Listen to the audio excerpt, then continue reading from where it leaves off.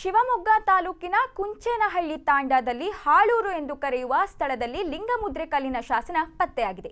ಪ್ರಾಚೀನ ಕಾಲದಲ್ಲಿ ಗಡಿಯನ್ನ ಗುರುತಿಸಲು ಬೆಟ್ಟ, ಗುಡ್ಡ, ನದಿ, ಹಳ್ಳ ವೃಕ್ಷಗಳಾದ ವಟವೃಕ್ಷ, ಹುಣಸೆ ಮರ ಮೊದಲಾದವುಗಳ ಮುಖಾಂತರ ಗುರುತಿಸುತ್ತಿದ್ದರು. ಇವುಗಳ ಜೊತೆಯಲ್ಲಿಯೇ ಕಲ್ಲುಗಳನ್ನ ಗಡಿಕಲ್ಲುಗಳಾಗಿ ನಿಲ್ಲಿಸುತ್ತಾ ಸೀಮೆ, ಊರು ಹಾಗೂ ದಾನವಾಗಿ ನೀಡಿದ ಭೂಮಿಗೆ ಗಡಿಕಲ್ಲುಗಳನ್ನ ಧರ್ಮ ಆಧಾರಿತವಾಗಿ ನಿಲ್ಲಿಸುತ್ತಾ ಬಂದರು. ಇಲ್ಲಿ ಪ್ರಧಾನವಾಗಿ ದಾನ ನೀಡಿರುವ ಭೂಮಿಯ ಗಡಿಕಲ್ಲಾಗಿ ಶಾಸನವಿರುವ ಲಿಂಗಮುದ್ರೆ ಕಲ್ಲನ್ನು ನಿಲ್ಲಿಸಿ, ಇದರಲ್ಲಿ ದಾನ ನೀಡಿರುವ ವಿವರವನ್ನ ಶಾಸನ ರೂಪದಲ್ಲಿ ಬರೆಯಿಸಿ ಇದರ ಮೇಲೆ ಶಿವಲಿಂಗ ಹಾಗೂ ಸೂರ್ಯ ಚಂದ್ರರನ್ನ ಕೆತ್ತಲಾಗಿದೆ. ಈ ಶಿಲ್ಪಗಳ ಆಧಾರದ ಮೇಲೆ ಇದನ್ನು ಲಿಂಗಮುದ್ರೆ ಕಲ್ಲು ಎಂದು ಕರೆಯಲಾಗಿದೆ. ಇಲ್ಲಿ ಪ್ರಮುಖವಾಗಿ ಶೈವ ಧರ್ಮದವರು ದಾನ ನೀಡುವಾಗ ಲಿಂಗಮುದ್ರೆ ಕಲ್ಲುಗಳನ್ನ ನಿಲ್ಲಿಸುತ್ತಿದ್ದರು ಎಂದು ಮಾಹಿತಿ ಇದೆ.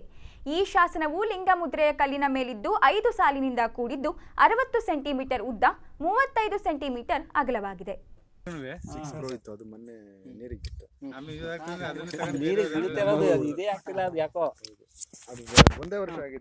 ಇದು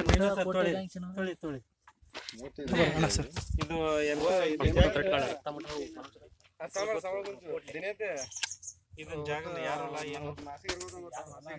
ಅಲ್ಲ ಇದನ್ನ ಏನಂತ ಹೇಳಿ ನೀವು ಇಲ್ಲಿ ಬರ್ತೀರಲ್ಲ. ಹಾಳೂರು ಸರ್.